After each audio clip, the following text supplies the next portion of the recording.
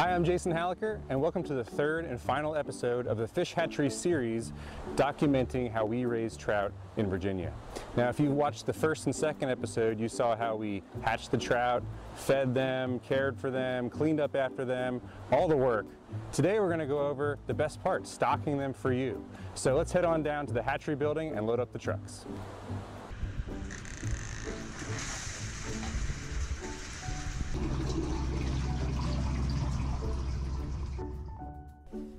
Once the trucks are filled, we pull up to the ponds to net out the fish. Typically we shoot for 80% of the load to contain 10 to 12 inch fish, with the remaining 20% made up of trophy sized fish. This can vary slightly depending on time of year, water levels, and other variables. Each net is weighed before it is dumped into the tank, so we can calculate an accurate estimate of how many fish are headed to the lake or stream.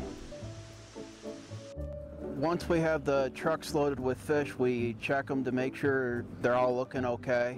And we run uh, agitators to bleed off the CO2 off the trucks to make sure there's no buildup on our way to where we're stocking.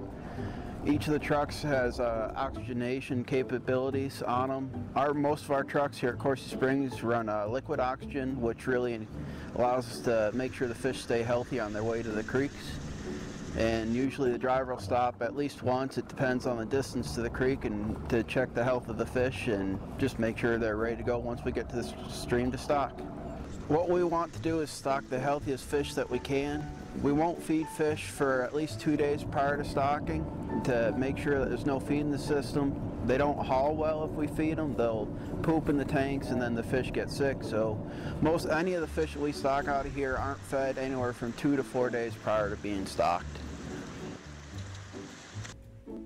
Before the trout even hit the water, fish stocking starts right here in the office. A tremendous amount of planning and coordination goes into stocking the waters of the Commonwealth. We stock 200 plus lakes and streams over 2,000 times between October and June throughout the state. We have to make sure that the fish are meeting our standards, the stream or lake conditions are right, enough manpower is present, and traffic control is available from our conservation police officers. There are a lot of balls in the air. Once we get to the water, we do our best to spread the fish out where it is safe to access the stream.